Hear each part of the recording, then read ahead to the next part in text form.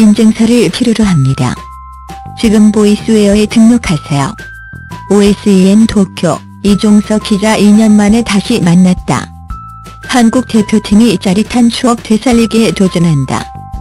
선동열 감독이 이끄는 아시아 프로야구 챔피언십 대표팀은 16일 일본 도쿄돔에서 일본과 맞붙는다. 지난 2015년 11월 19일 WBSC 프리미어 12 4강전 이후 2년 만에 다시 만난 숙명의 라이벌 맞대결이다.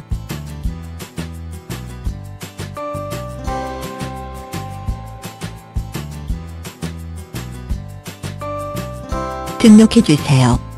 한국에게 도쿄돔은 좋은 기억이 가득하다.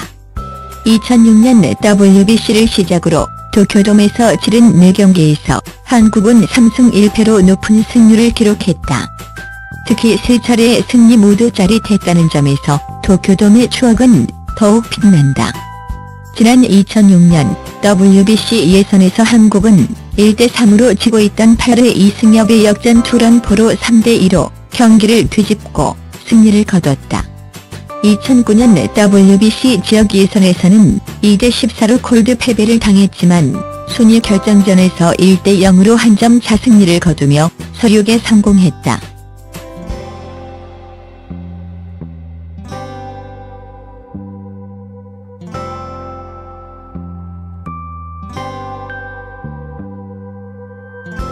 지금 보이스웨어로부터 인증서를 발급받으시기 바랍니다. 백미는 2015년 WBSC 프리미어 12 4강전이었다. 삿포로에서 열린 일본과의 개막전에서 0대5로 패배를 당했던 한국은 4강전에서 일본을 4대3으로 꺾었다.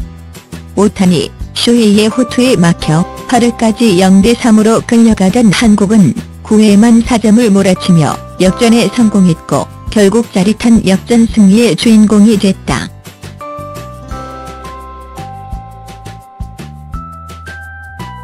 등록을 부탁드립니다.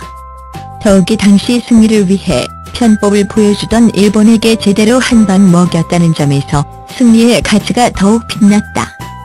당시 개최국인 일본은 흥행을 위해 자국의 우승을 내걸었다.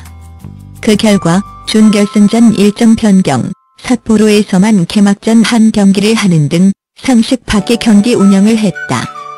또한 준결승전을 앞두고 결승전 선발을 미리 고지하는 등 자신감을 넘어 자만심에 가득 찬 모습까지 보여줬다. 그러나 한국 대표팀이 일본의 계획에 찬물을 끼얹었고 패배 후 다음날 일본 언론은 앞